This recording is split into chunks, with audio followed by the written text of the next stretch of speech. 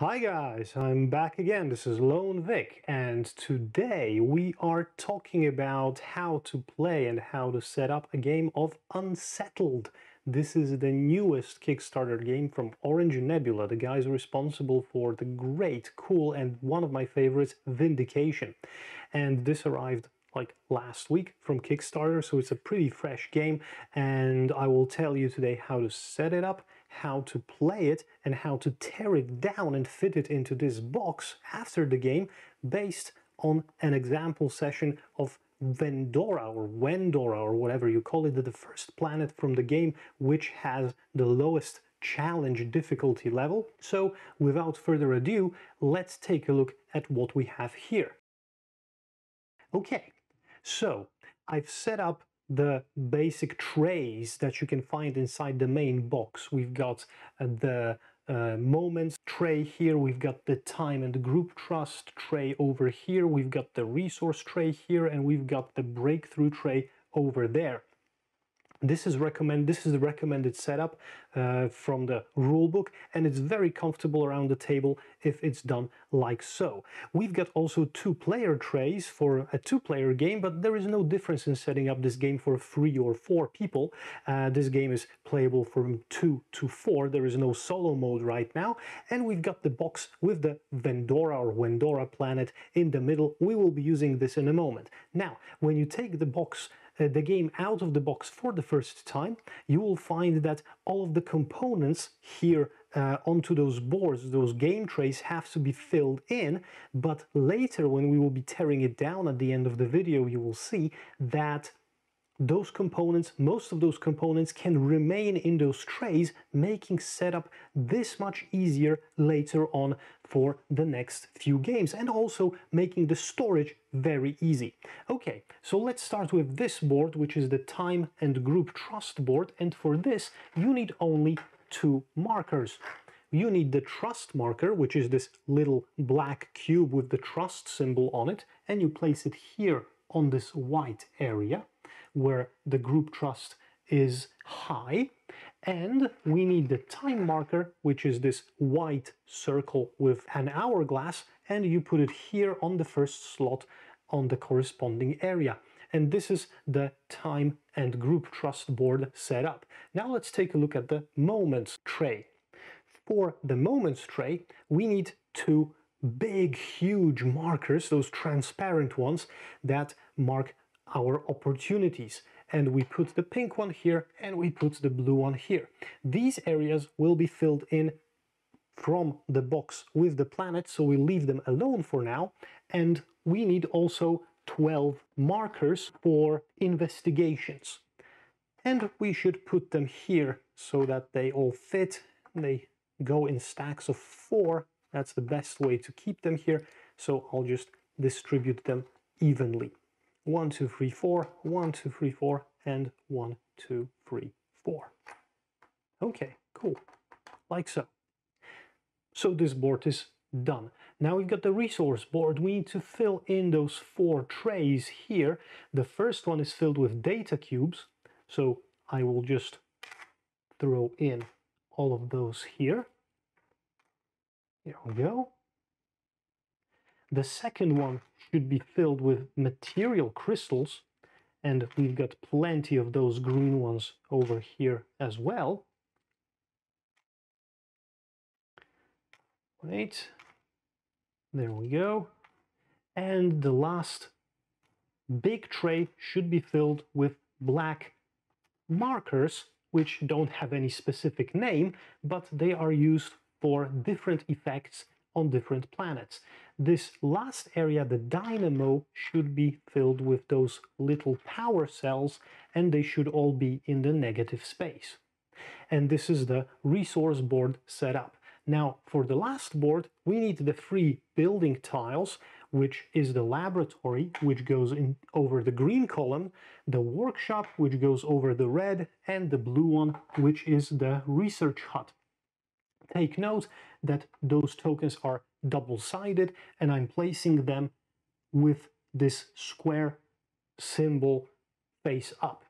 Now, those three columns here are called comprehension markers. or the spaces are called the comprehension markers, and those are comprehensions of the three scientific disciplines that your players, your characters will be studying. And this is robotics, and we put the four robotics tokens into this column. We have chemistry, and we put the four green chemistry tokens here, and we also have the red uh, engineering comprehension, and we put those here. Now, those are the four trays set up. As for the players, we obviously need the player miniatures, so I've got the red and the green one. We also need three focus dice for each player, one in each color, so we need a green, blue and red focus die, and during the game we decide what level of difficulty we want to set up in the beginning of the game by setting up those focus dice. And in this case, if you are playing with two explorers and you set all those dice to a number of two focus, you will get an standard level of difficulty. If you want to make it more difficult, you would need to set one of those dice for each player to one, and so forth and so on. The rulebook gives you a good view over of those values. So each player needs those. We'll be setting up a standard game, so we'll be setting up each of those to the number of two.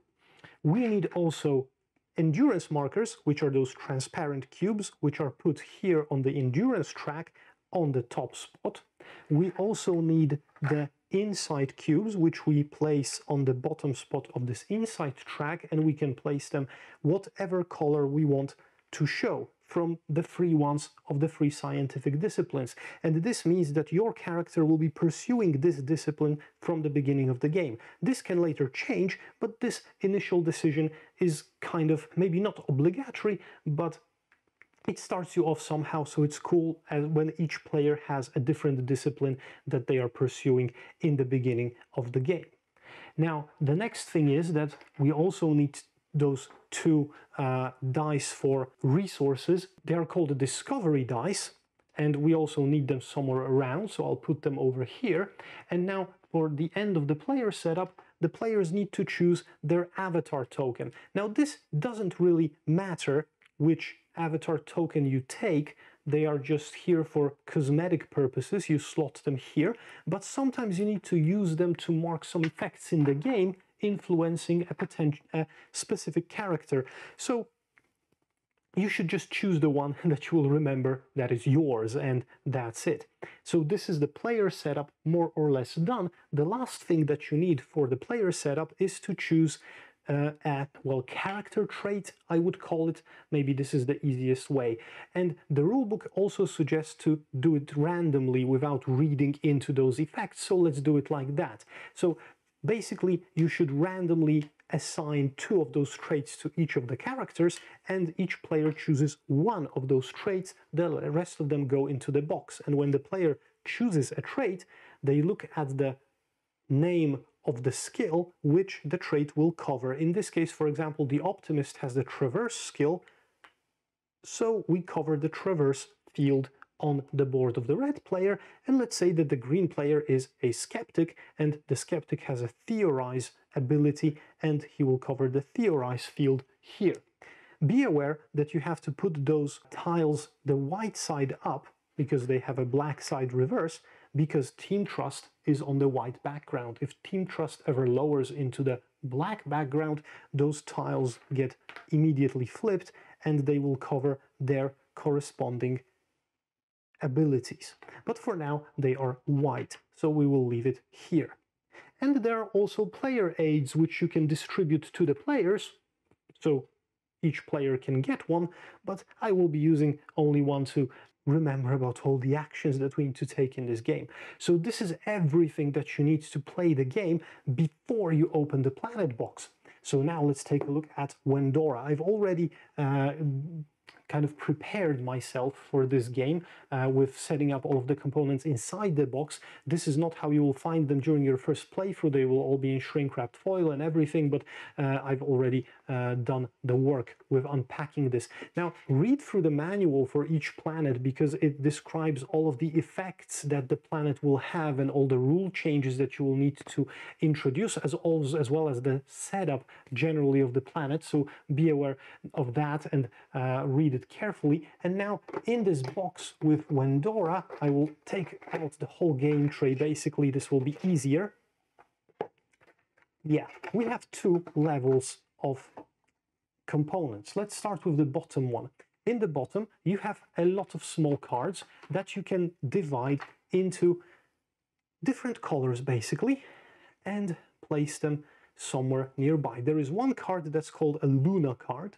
There are four robotic blue breakthrough cards, four green chemistry breakthroughs, four orange engineering breakthroughs. There are a lot of distress cards and a lot of scientific anomaly cards. Now, you should shuffle each of those piles separately, obviously. You take the Luna card, flip it to this side with the action box, and place it here on the breakthrough board. And each planet has a different card for Luna, so you will be uh, using a different one from each box. Now the breakthroughs, after shuffling, go under each corresponding color of the scientific uh, disciplines. So, like so.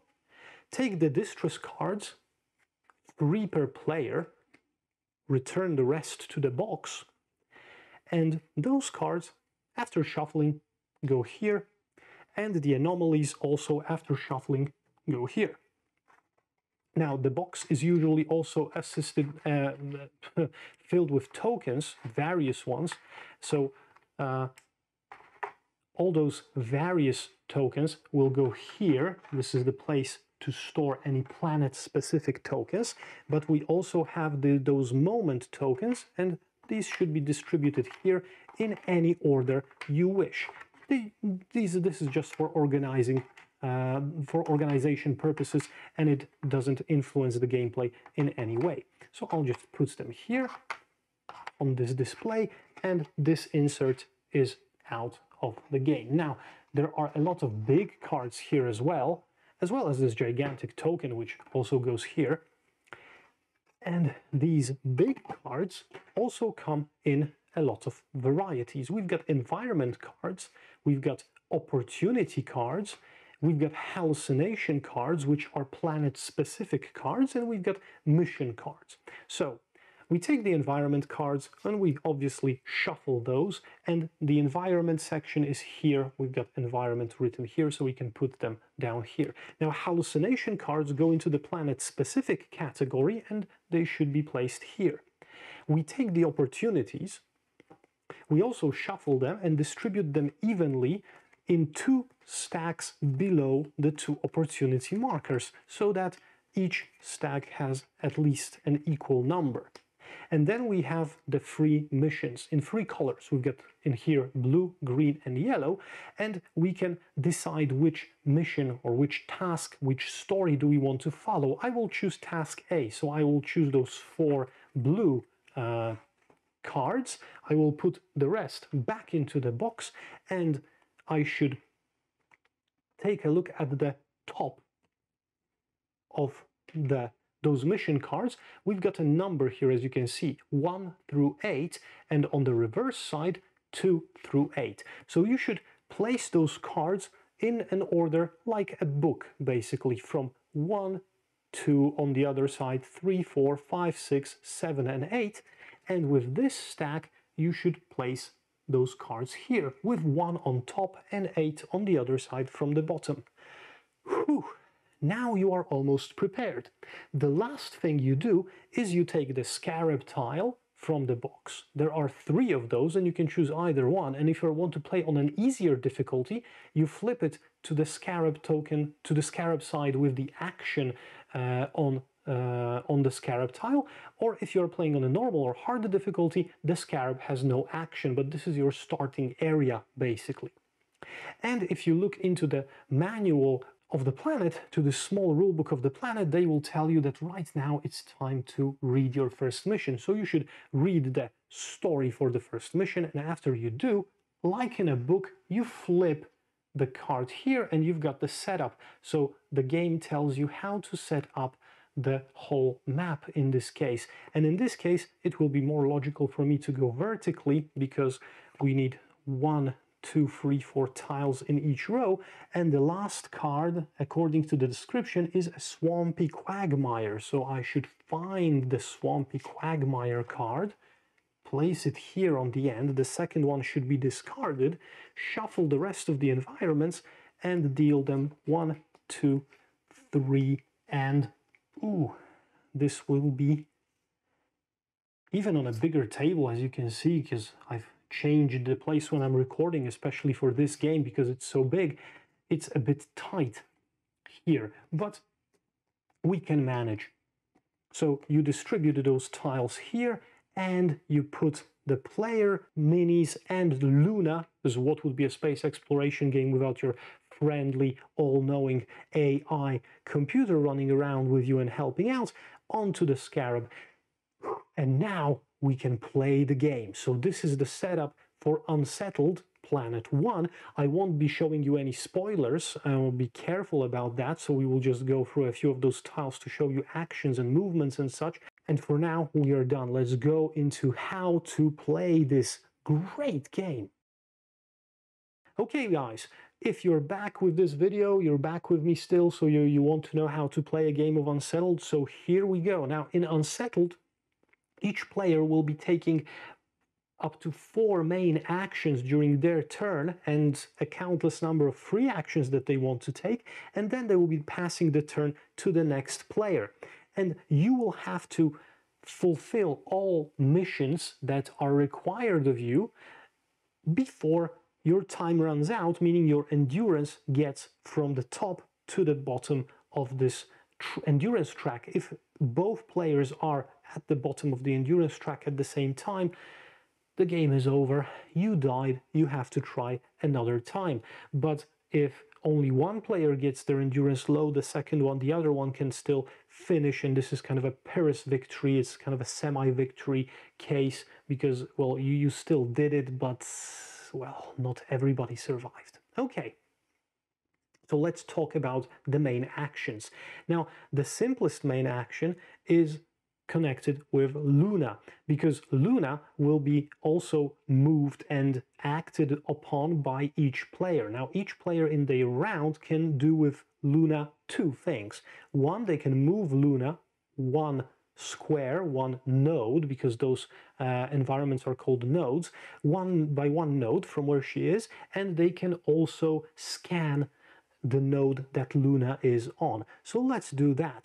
So the red player is starting and he would they would move here with Luna and this means that Luna uncovers the tile. Now no effects on the tiles or no effects on the edges of the tiles influence Luna. So she's basically safely exploring everything, right?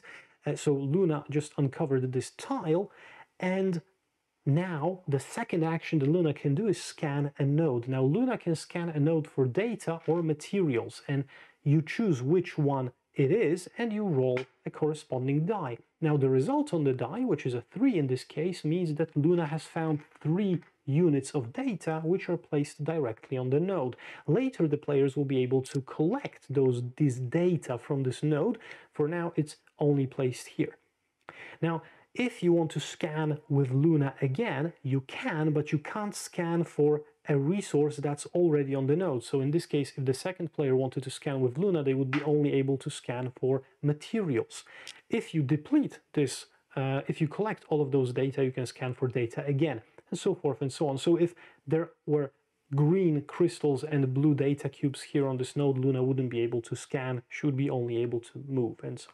Okay, so those are the two main actions. So on your turn, you can move Luna and you can use her to scan a node.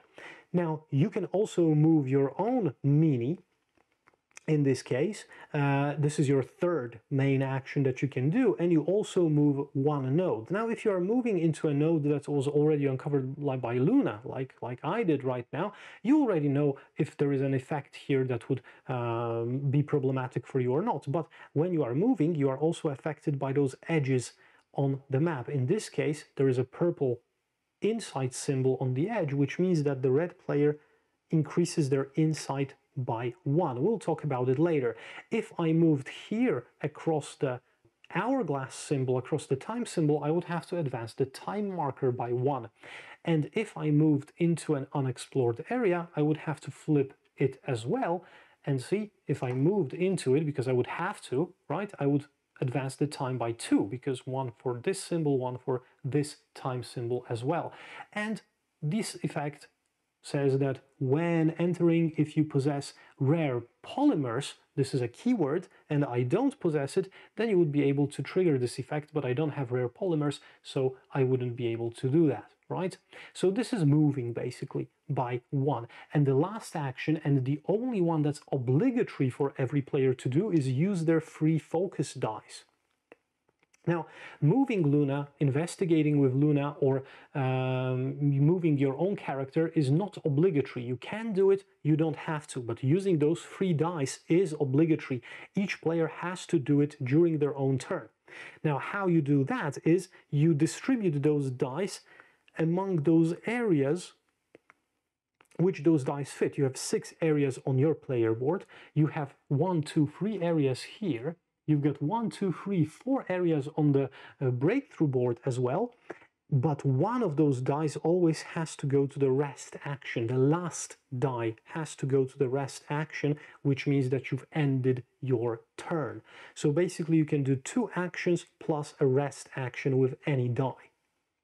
Now let's go through these one by one. Now I will clear this uh, character tile to show you the basic actions and also talk about those and then I will tell you how the character actions might change something. So let's start with the fact that some of those areas for your dice are black and some of them are white. If an area is black and has an arrow that's pointing down, that means that when you use this area you have to reduce your die by one or two or three, depending on the number of arrows, number down.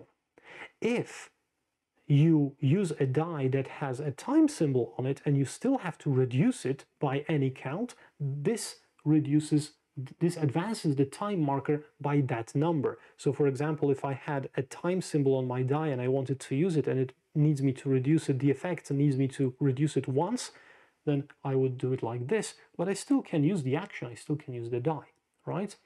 If the area is white and it has an up arrow, that means that you increase the die by this much, but you can't increase it above 3. Nothing happens if you have a dice on 3 and you would increase it in any way. And some areas like this one on the Skeptic don't have an arrow, so the die doesn't go up, doesn't go down, it stays in the same spot.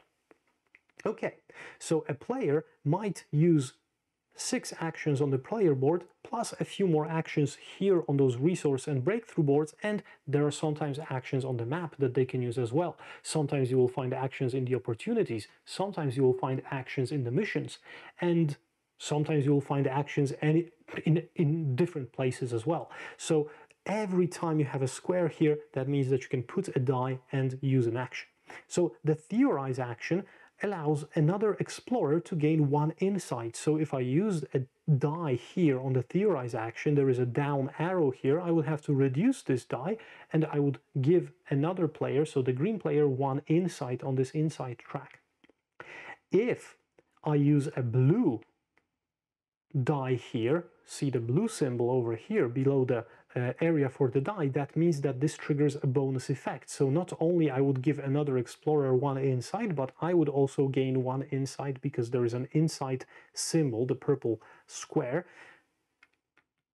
here in the field. So if I did it like this, I would reduce it by one, I would get one insight, and the green player would gain one as well. Now, investigating works similarly, but with a green die. So if I use the green die and reduced it by one, the green bonus means that I would get one insight, and investigation means that I can pursue an opportunity on my node. So if this is the red player, I uh, moved the green one instead. If this is the red player here, I can choose which color of opportunity I want. Let's say that red goes well with pink. And I would flip over the first opportunity card on top. Now, you can read the flavor text here, which is always pretty useful, right? So you can read the flavor text here, immediately activate this effect that's below the flavor text, and then you have another area to place your die in and collect those rewards after you have used a die to trigger this opportunity. And you also choose the corresponding tile from the display of the opportunities, you place it here. Now, what happens when a player triggers this effect and collects this opportunity? There are sometimes different conditions to be uh, aware of here. Like, for example, you sometimes need a keyword or you need to spend some resources or something. Now, in this case, if you reach into the sphere and you take this hover blossom, you will gain two insights. You've got two insight symbols here, but you will also gain an anomaly card, which you place here with this tile like this and you discard the used opportunity and you return this marker here. So this would mean that the opportunity has been used and it can be used by the player who activated it, who investigated it, and it can be used by another player on another turn. It depends. One more thing, when you are investigating a square, you place an investigated token on the square so that no more opportunities can be investigated here. So basically you've got 1, 2, 3, 12 squares, you can investigate 12 opportunities during a single game, and that's it. So what are those opportunities? As you can see on those cards, opportunities are very useful, can be very useful things. Opportunities give, grant you your, your character keywords, which trigger some effects on the map or trigger some effects connected with the missions. They also can be used once, so you have to discard this anomaly that you've received in order to fulfill the effect that's described, but the condition is that you have to have some comprehension in one of the science trees. So this is how anomalies work and you can gain anomalies mostly or usually by doing opportunities, by discovering and benefiting from opportunities right? So let's leave that here. Now, I've mentioned that you need comprehension. So how does comprehension work? You saw how to advance this insight track, right? Uh, you can do it by using appropriate dice on appropriate areas, sometimes by crossing edges of the map, sometimes by doing opportunities. Different things happen, right? Uh, if the die anytime is on the last space of the insight track and it has to move up, it circles around and you gain the comprehension of the same color. So I would take this red symbol, put it here, and also take one breakthrough and place it here. Now, breakthroughs are special cards that give you long-lasting abilities. You can use this ability once every turn, so you can use it once on your turn, once on another player's turn, and once on another player's turn, and then so forth and so on. But every single time you use it, you have to pay the cost. In this case, the cost is one energy charge. And you can have as many breakthroughs as you want, as long as you have those areas here to fill. If you have four areas filled with different breakthroughs, with different comprehensions, and you've got four breakthroughs corresponding to them, and you collect the fifth one, you have to decide the fifth token replaces one of those four that you already have, and you have to swap out one breakthrough accordingly. Now, after you collect a comprehension, you can set this die again to a different color to start obtaining different science uh, comprehension tokens and also different breakthroughs. But remember one thing, comprehensions pool from players. So if, for example, there are two players on the same node and one of them has comprehension in chemistry and another has a comprehension in engineering, and the action that you need to take, for example, on this area requires comprehension in chemistry, the red player can do this because there is a player present there who has comprehension in chemistry. So my comprehension in engineering benefits the green player and his comprehension chemistry benefits me as well right? So those are collectives. Sometimes you need more than one comprehension for an action to take place. those are different requirements and you'll be discovering them throughout the game. Okay, enough talking about investigating comprehensions. Let's leave it at that.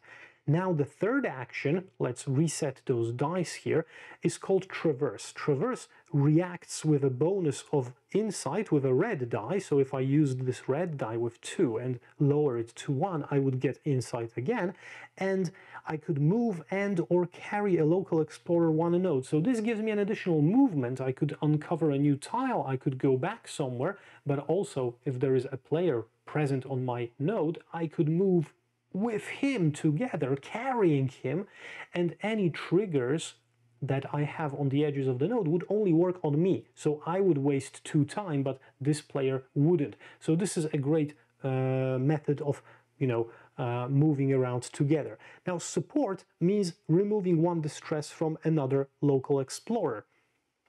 Those distress cards can be obtained based on some rules of the planet usually. I won't be talking about the rules for Venora. You'll have to read about them on your own into in the in the manual for the planet because well this would spoil quite a lot and you know uh, surprises.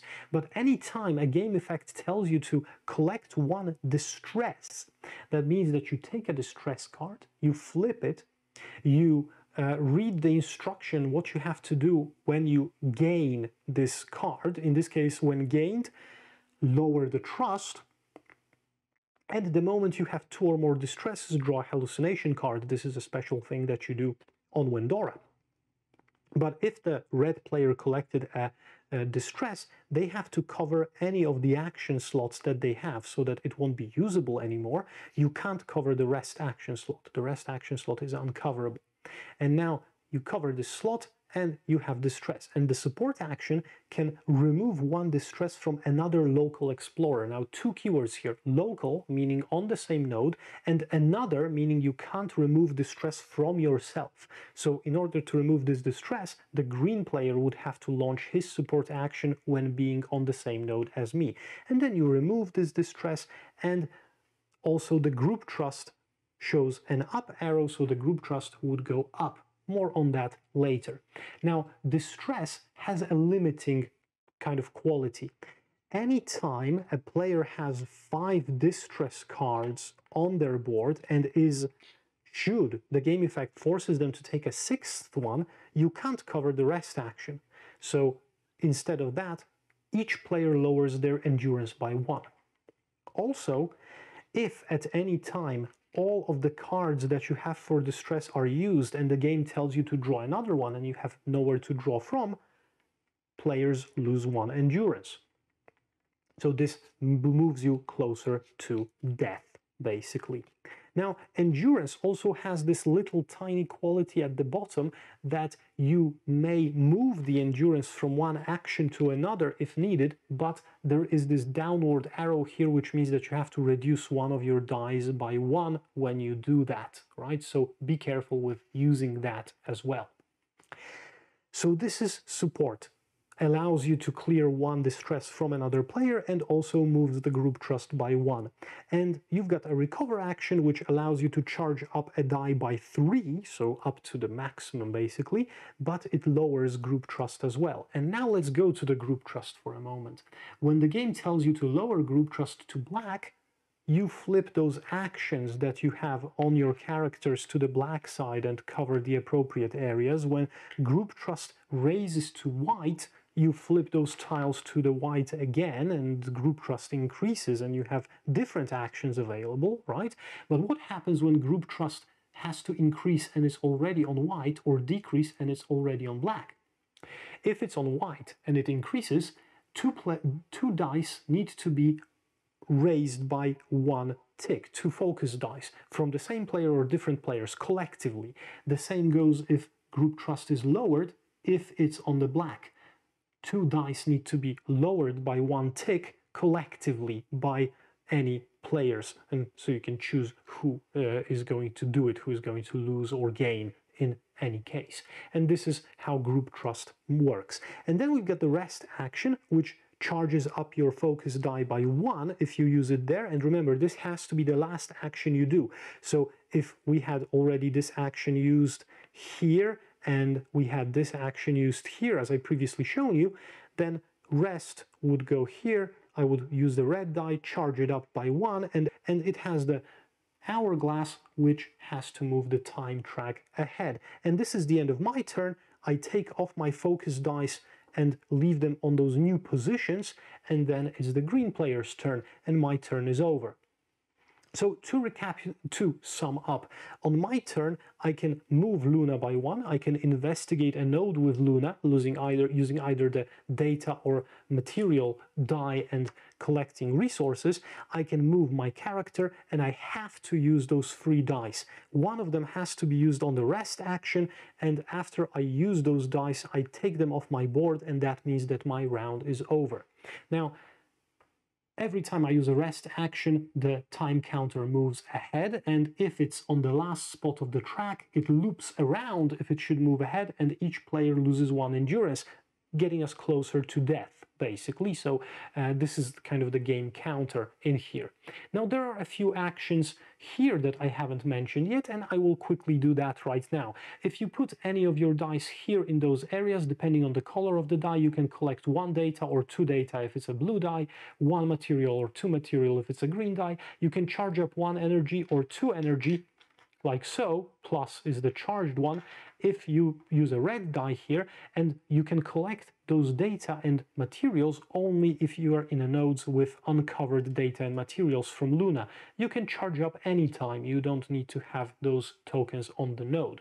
So in this case, for example, if the red player was here, he would be able to use the blue die from 1 to the hourglass. Nothing happens yet because he just flipped it to collect two data and put them here in the database from where you can spend your tokens. So the green tokens would be collected from the board into here. The red ones would be charged up here and you can only spend the tokens that are in the plus for energy or in those database and stockpiles for the green and blue respectively. And spending them doesn't cost anything. You can do it anytime but collecting them works like this. And now there is a Luna card over there, which has a different effect based on what planet you are on, and the description is pretty clear on those, so I won't be getting into that.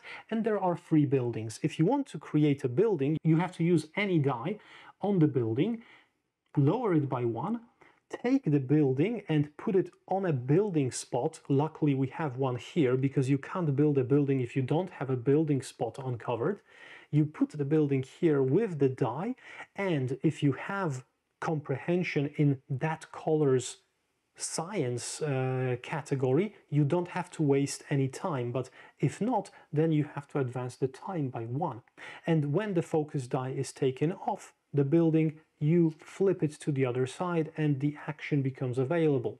And the actions can be used wherever you are. You don't have to be at the building to use the action. You can be on the other side of the map, but you can still use the action by spending the actual resource. So in this case, you can propel Luna from anywhere by spending one energy and you can move Luna by one to make her uncover, for example, a new node, like so. There you go.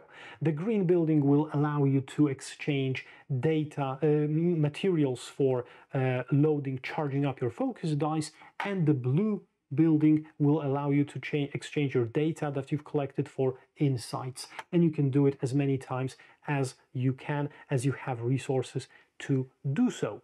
So we're pretty far ahead into what's going on here on the board and on the planet. Now, those were the main actions, the four main actions that you can do. Apart from those main actions, you can also do any number of free actions on your turn. And those free actions are pretty minor tweaks to what you can achieve during the game. Now, the free actions mean using those breakthroughs that you've collected by obviously playing the cost and you can use um, every breakthrough only once per turn. You can also use the anomalies by discarding them along with the token to use this effect, but only if you have the comprehension of the appropriate color. This is marked by this comprehension symbol and the wording must be present to do that. You can forfeit an opportunity. This is not recommended, but anytime there is an opportunity uncovered on the board, you can decide to forfeit it, so basically to remove it, because you state that it's not worth your time and you would rather uh, uncover a different opportunity because there can be only two opportunities at a time. You have only two opportunity tokens and two opportunity stacks. So you can't have more of those. You can alter your scientific pursuit which means you can change this die from the color that you currently have to a new one because you decide that this comprehension is not necessary for you anymore. But when you do that during your turn, you will have to lower yourself back to the bottom area in this track. Now, if you would wrap around and gain a comprehension, you can set the die to any different color again, like for free without uh, having any uh, losses, right? But if you are uh, changing this uh, insight color during your collecting, you would have to reset it as well. You can exchange discoveries. If you are on the same node as another player, you can exchange breakthroughs and anomalies and items in your inventory. Now, I'm not talking about the inventory because only specific planet rules tell you to put something into your inventory. So this is the space on the board where you have to put something. But if you're on the same node, you can exchange anomalies, breakthroughs, and inventory uh, freely between players. And you can contribute to survival tasks, which are usually the tasks for missions, uh, where you have to do something by being on a node or uh, something else. So that's in general it. Now, I won't be uh, spoiling to you any rules connected with this map or with playing Venora. You will have to read those on your own in order to figure out how these work because, well, that's the whole fun of Unsettled to be able to uncover a new planet, find out what the rules are that are governing this new strange place, and try to adapt to them and try to win in a hostile and unfriendly environment by, you know, collecting resources and uh, comprehension and uh, fulfilling tasks and finding opportunities and so and so and such. So this is the main adventure. I will also uh, only mention to you a few things that are kind of glanced over uh, in the general rules. Now, those keywords that you can find in many different places, like for example here on the boards, when it says that when entering, if you possess this keyword, do something. Or for example, on a card, let's find a card that has something like this. I don't know if there will be something on Venora. But for example, this, where it says that explorers on this node with the phrase fungal host will get one insight and can increase one focus die by one.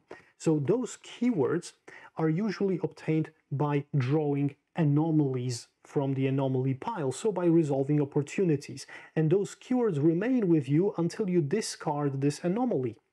And if you transfer the anomaly to another player by the exchange discoveries free action, this keyword goes with the card to the new player.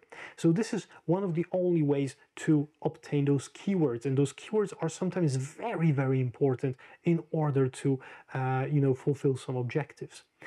Another thing is that some of the opportunities and some of other game effects might have the catchphrase engage or engaging. This would mean that if an opportunity is engaging, it will follow the player wherever he goes.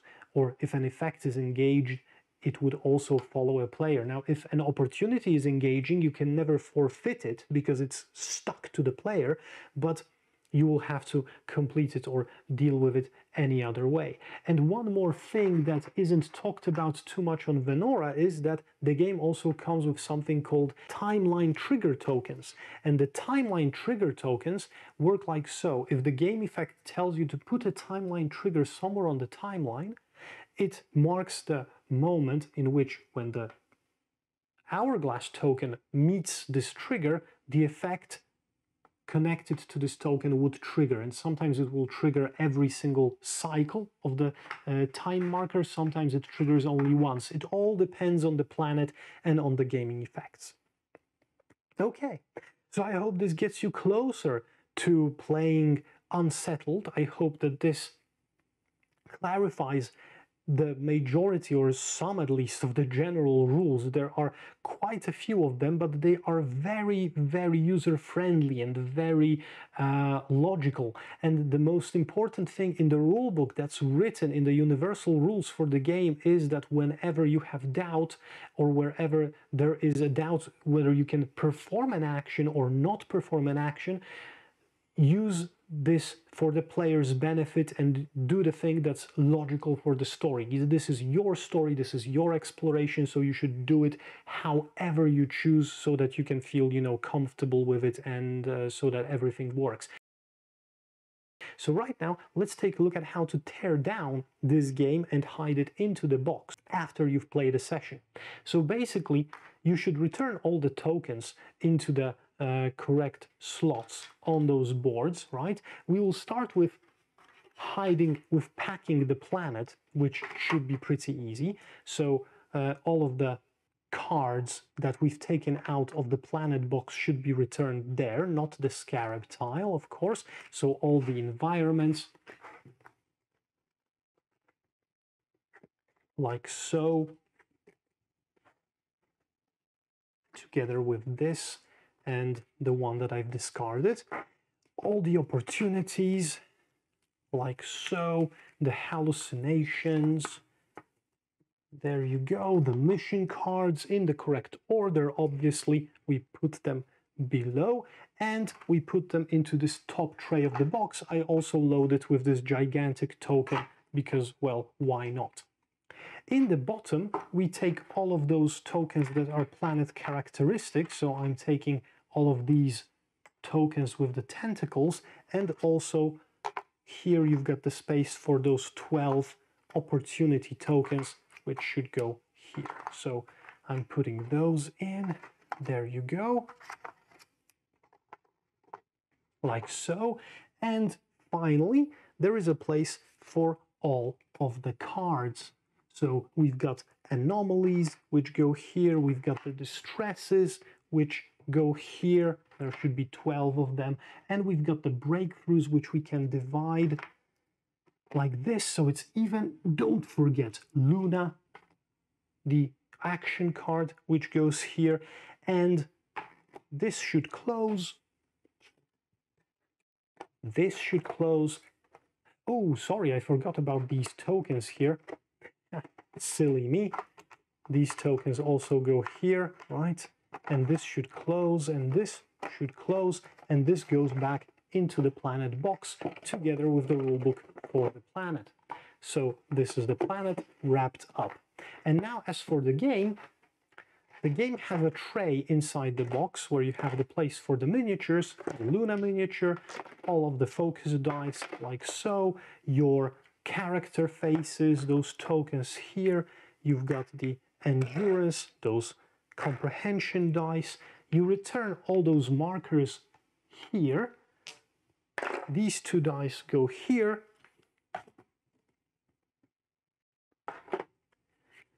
All of the character traits go here. We can put these two markers in here as well, the time and group trust markers. The scarab tiles, because there are three in total, go here. And now what we can do now is we can take the game box and we basically lower this tray into the game box. We put the player boards on top, one, two, there is a third and fourth one.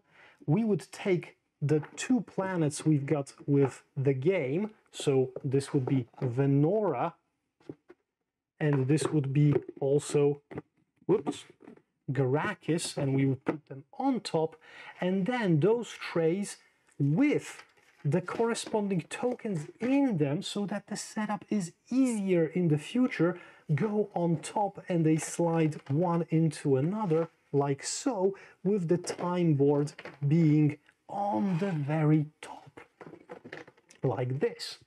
And the final thing is that we put the player aids back inside we put the rule book in its spot and we can close the lid on this fine game that's called Unsettled.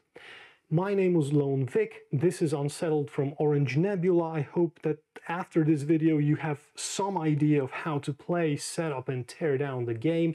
It's a game from two to four players. Should take you about two, three hours to play. Thank you for watching this video. Check out the rest of my channel where I have some reviews and um, how to plays and unboxings of super cool games that I like and I want to share with you guys. If you like the video, hit the subscribe button, click a like, leave a trace in the comments. See you very soon. Have a great day. Bye bye.